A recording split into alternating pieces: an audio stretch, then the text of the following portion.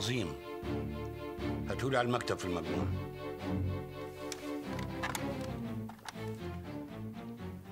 الموظفين الموجودين روحوا؟ روح انت كمان بالسلامة. لا مش عاوز حاجة.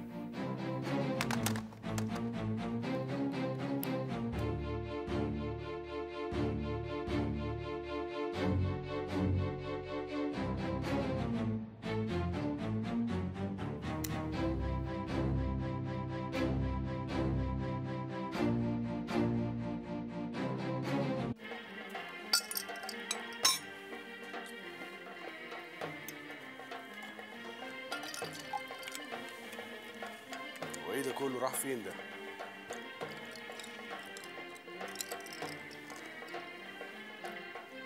بقول لك لو سمحت.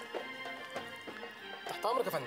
هو المستر اللي كان قاعد الأستاذ يعني اللي كان قاعد معايا هنا ده وأنت ميلت عليه كلمته وخدته ومشيت راح فين؟ أنا يا فندم؟ أيوه أنت من يجي نص ساعة كده. يا فندم ساعتك سهران طول الليل لوحدك. لوحدي إيه يا عم؟ أنت ما أنت أنت أنت كلمت مستر سوليمان وخدته ومشيت. يا فندم أنا لو سعادتك هحاسب بسرعة وأمشي. وبعد كده اشرب على قدك يا باشمهندس. أنا راح أجيب لسيادتك الشيك شيك إيه؟ اشرب على قد إيه يا جدع أنت وأنا سكران. الراجل كان معايا وأنت خدته ومشيت. الله.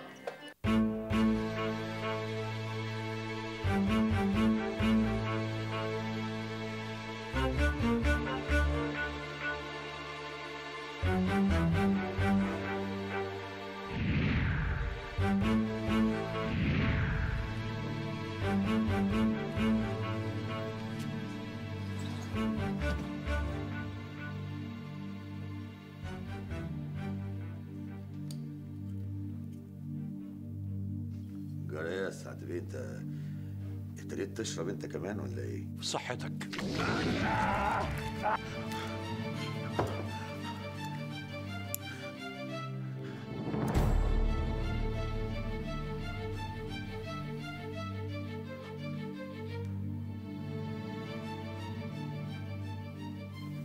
في القاعة دي من كام سنة اللي بعتوك خلوا خالد الدالي يحبسنا فيها.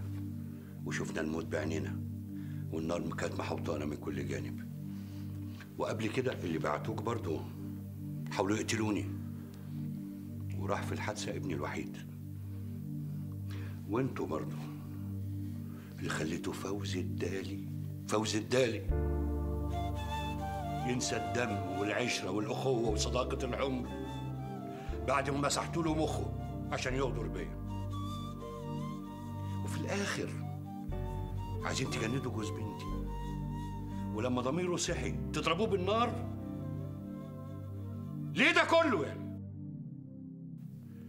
عشان عايزين نثبت في أوروبا إننا ممكن يبقى لنا وجود في الصناعات الكيماوية في استخدامها السلمي. استخدامها السلمي وأنت عارف وأنا عارف لو المصانع دي وقعت في ايديكوا كانت هتوصل لايه الله وتعب نفسك وجايبني من قعدة حظ آخر الدنيا لغاية هنا؟ عشان تحكي لي الحكايات بتاعت ألف ليلة والليلة القديمة بتاعتك. يا أخي كنت كلمني بالتليفون وأنا كنت جيت لغاية عندك وسمعت كل الكلام اللي أنت عايز تقوله لي. لا. حبيت أثبت لك إني ممكن أخطفك من وسط حراستك وأجيبك لحد هنا. وبدل ما أنت واقف قدامي دلوقتي كان ممكن تبقى مرمي في حفرة. والتراب مغطيك لحد ما روحك تسبقك لجهنم. أو اولع فيك. قلبك أبيض وبعد كده إيه اللي حصل؟ قررت إنك تصفح عني وجبتني لغاية هنا؟ لا. عايز أقول لك إن طول ما فيا أو في العيلة نفس المصانع دي مش هتطولوها أنت دلوقتي بين إيديا وأقدر أعمل فيك اللي أنا عايزه.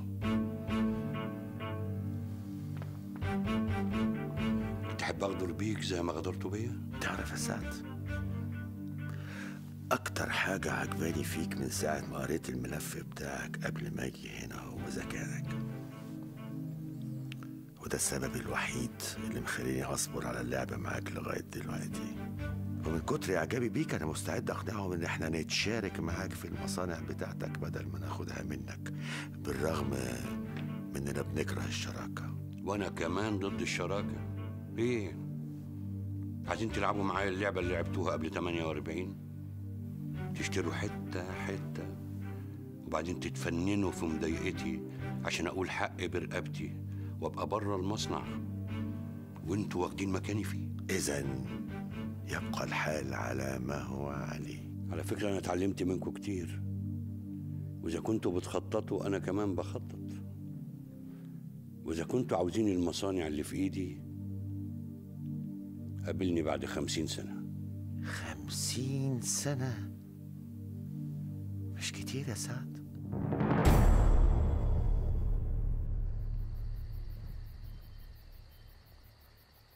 طقم الحراسة الفاشل اللي عندنا ده من بكرة هيتغير. وقول لهم لو شفت خلقه واحد فيهم هضربه بالرصاص.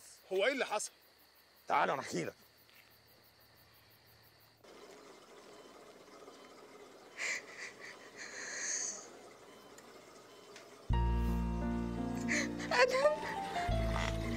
حبيبي أنت كويس؟ أنت كويس؟ مفيش حاجة. ما تتعبش نفسك. أنا رايح فين حبيبي أنت لسه تعبان؟ ما ينفعش تتحرك ما تخافش حبيبي مش هسيبك أنا هفضل جنبك هفضل جنبك لحد ما نرجع بيتنا سوا. ربنا ما يحرمني منك. ربنا ما يحرمني منك ابدا. أيوه حبيبتي. خلاص والله قربت أجي أهو. أنا بس بدور على طريقة أخرج بيها من غير هبة ما تحس. دي هبة لابسة هي كمان أهي. آه بايناها خارجه طيب طيب هكلمك تاني. باي يا حبيبتي. رايحة فين يا حبيبتي؟ مضطرة أروح الشغل يا ماما. فادي عمال يكلمني كل شوية. وبعدين بصراحة أنا وعدان إن أنا هاجي النهاردة أخلص الشغل المتأخر. انت شايفة انك تقدري تعملي كده ولا نكلمه يبعت الورق على البت دي وتخلصي؟ لا خلينا أغير جو. عموما أنا مش هتأخر. خلي بالك من نفسك. حاضر يا bye. bye يا روحي.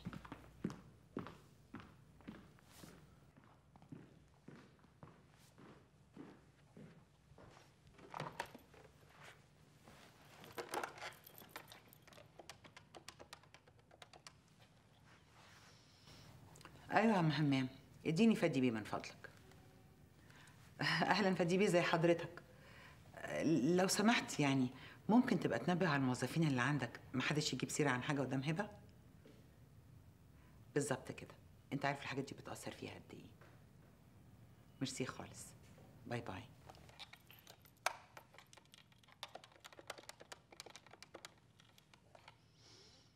أيوه يا رضا.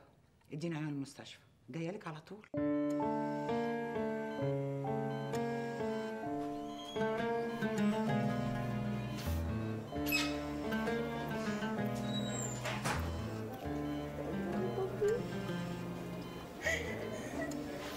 لا الحمد لله شكله أحسن النهاردة. صباح الخير يا ألفة. صباح النور. أمال هبة فين؟ راحت شركتها بس ما تعرفش حاجة. بس اهدي إن شاء الله أدهم يقوم بالسلامة وفي في وكيل نيابه جالي النهارده. بيقول لي تفتكري مين من مصلحته إن أدهم يموت بالرصاص رصاص ليه يا بابا ليه؟ مين مصلحته يموت أدهم يا بابا ويحرمني منه ليه بس بس اهدي اهدي أكيد هعرف الحقيقة. أما أخلص شغلي هعدي عليكم وإن شاء الله أدهم تكون حالته بقت أحسن ويقعدوا في أوضة عادية. السلام عليكم.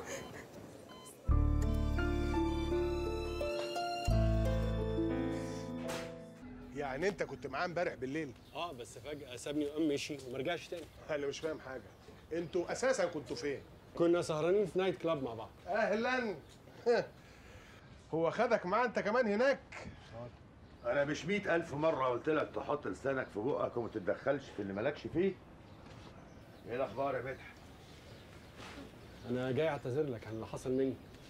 ما كنتش عارف إن موضوع العربية هيضايقك لدرجة إنك تسيبني وتقوم وتسيب المكان وتمشي. ما أصل في ناس كده. لما تفتح بقها تنزل دبش. آه من حق بمناسبة الدبش. أخبار عربيات الرمل والزلط اللي محتاجها المشروع بتاع باسم الدالي إيه كل مواد البنى اللي طلبها وصلت قبل ميعادها والمشروع شغال 24 ساعة في اليوم. أيوه كده. قول لي على خبر يفتح نفسي على الصبح. تؤمر بحاجة مستر سوليمان قبل ما أمشي؟ آه. الموضوع التاني اللي اتكلمنا فيه أخباره إيه؟ هاخد تمامه النهارده إن شاء الله. أنا كمان محتاج أخد تمامه النهارده. أوكي هنزل.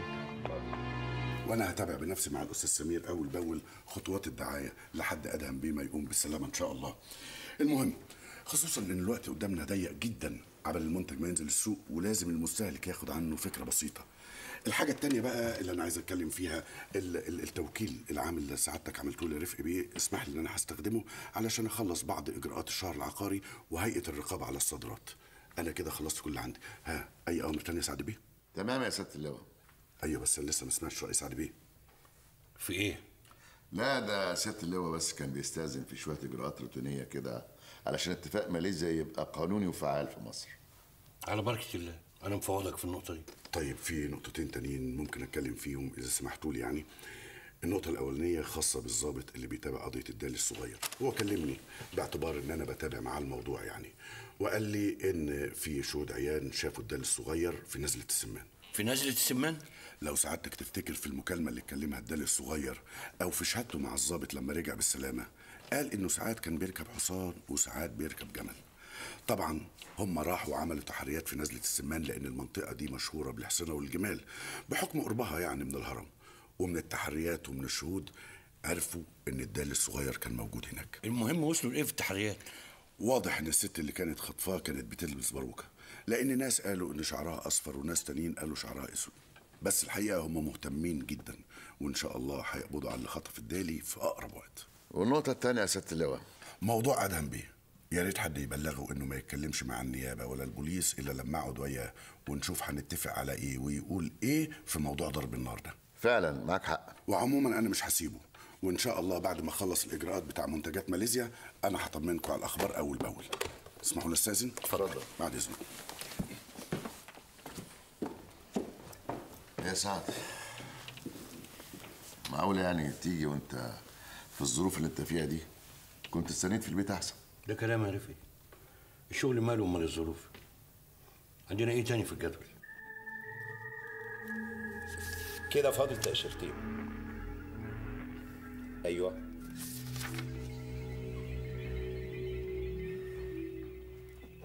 تمام كده. مالك يا هبة هنا أنا كويس الحمد لله. لسه في حاجة تانية؟ مش فاضل غير امضه صغيرة هنا على الإعلان بتاع الشركة اللي هينزل في الجرايد عن التأشيرات. علشان اللي عايز يحجز عندنا.